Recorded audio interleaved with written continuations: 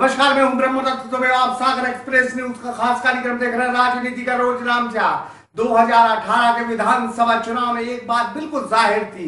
ये जनता और भारतीय जनता पार्टी आरोप भी लगाती थी कि अगर कांग्रेस की सरकार बनी तो प्रदेश से मानो बिजली चली गई।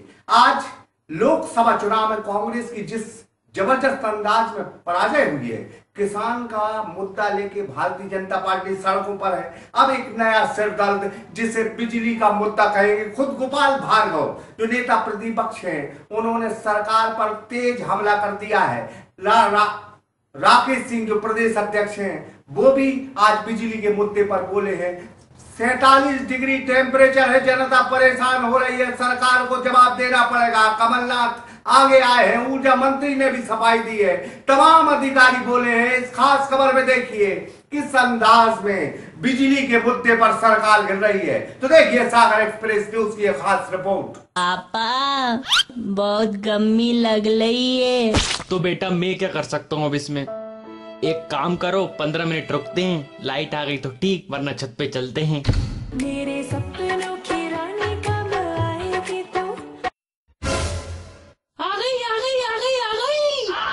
कौन आ गई कौन आ गई कौन आ गई लाइट आ गई लाइट आ गई लाइट आ गई राजनीति में लोकसभा में मिली हार के बाद जहाँ मध्य प्रदेश की सरकार खजाने खाली होने की माल झेल रही है ऊपर से किसानों की नाराज़गी के बाद अब बिजली का मुद्दा कमलनाथ की सरकार को परेशान कर रहा है।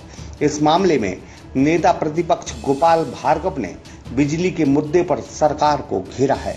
उनका कहना है कि Madhya Pradesh surplus power centre है। यह सरकार इस भीषण गर्मी में बिजली कटौती कर आम जनता को परेशान कर रही है। भार्गव, ऐसा कोई भी मौका नहीं चूकते जिसमें वो सरकार को मुद्दों में न घेरे। गोपाल भार्गव का कहना है कि अगर सरकार को कर्मचारी असहयोग कर रहे हैं तो ऐसी स्थिति में अराजकता है सरकार को एक मिनट भी कुर्सी पर बैठने का अधिकार नहीं। और सबसे बड़ी हास्यास्पद बात यह है कि कांग्रेस पार्टी की सरकार कहती है कि ये बिजली के कर्मचारियों की चालाकी कारण या उनके उदासीनता के कारण ये सब हो रहा है, या असहयोग के कारण हो रहा है। यदि कर्मचारी सरकार को सहयोग नहीं कर रहे हैं तो सरकार को फिर एक मिनट भी रहने का अधिकार नहीं है। यह तर्क सरकार का हास्यास्पद है। इसका अर्थ ही है कि सरकार की अब कोई पकड़ अपने कर्मचारी या व्यवस्था के ऊपर नहीं बनी है और न बची है। और इस कारण से एक मिनट भी अभी सरकार प्रभाव में नहीं रहे और तत्काल अपना पद छोड़े, इस्तीफा दे और अपना घर बैठे लोग सब। भार्गव के इस बयान के बाद सरकार भी फ्रंट पर आई है। खबर है कि सूबे के मुख्यमंत्री कमलनाथ ने भी अधिकारियों को चेताते हुए कहा है कि बिजली की समस्या तत्काल वो हल करें, जबकि सरकार के ऊर्जा मंत्री प्रियव्रत सिंह भी सामने आए हैं। उनका कहना है कि प्रदेश में कोई बिजली कटौती नहीं हो रही है, वो तो पक्षियों या अन्य कारणों से फॉल्ट हो रहे हैं, इस वजह से बिजली जा रही है। देखिए, बिजली की कटौती तो होनी रही है। अगर कहीं फॉल्ट हो रहा है या ट्रिपिंग हो रही है तो बे, बेवजह से सबको जानते हुए भी कुछ लोग इसको राजनीतिक मुद्दा बनाने का प्रयास कर रहे हैं। कबूतर के बैठने से बर्ड फॉल्ट होने से कंडक्टर में तार एक दूसरे से टकराने से, या कहीं पे कोई फॉल्ट होता है, उसको हमारा विभाग तत्काल ठीक कर रहा है। दस पंद्रह मिनट के लिए बिजली जाती है, वो लोग विभाग का अमला जाता है, उसको ठीक करता है और बिजली की व्यवस्था वापस से जमाता है। हमारे बिजली महकमे के अधिकारी उसे 15 मिनट में ठीक कर रहे हैं। अब मंत्री प्रियव्रत सिंह को यह कौन समझाए? क्या शिवराज सरकार में कबूतर या पक्षी नहीं थे। क्या कबूतर भाजपा की मदद करते थे?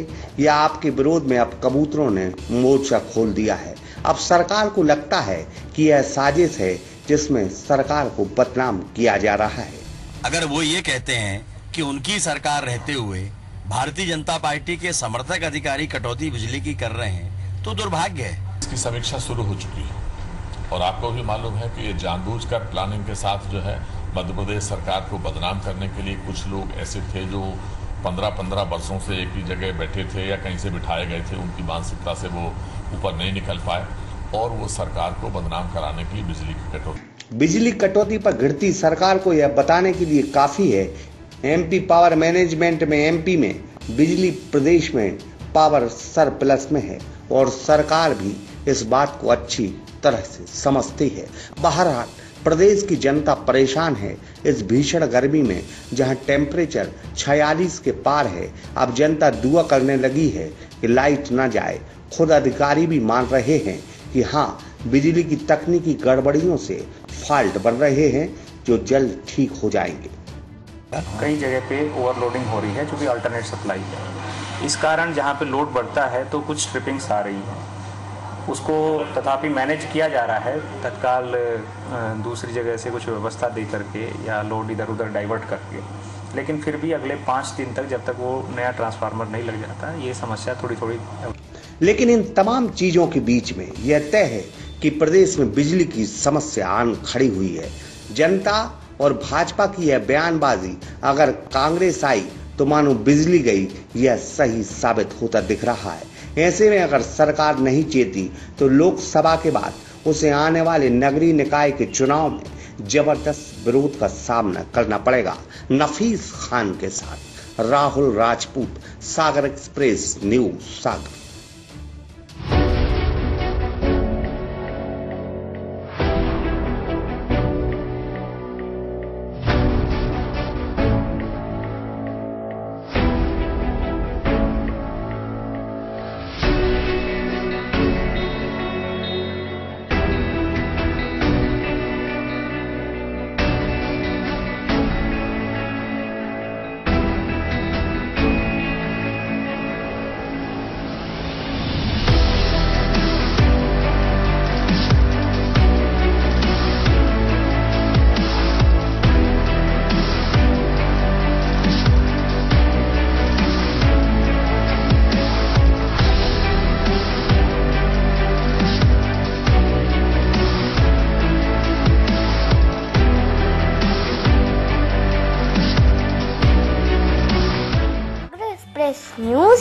की वीडियो अगर आप यूट्यूब पे देख रहे हैं तो उसे सब्सक्राइब कीजिए और अगर यही वीडियो आप फेसबुक पे देख रहे हैं तो उन्हें लाइक कीजिए और अगर आप कमेंट लिखना चाहते तो कमेंट भी लिखिए और आपका दिन शुभ हो, मंगलमय हो।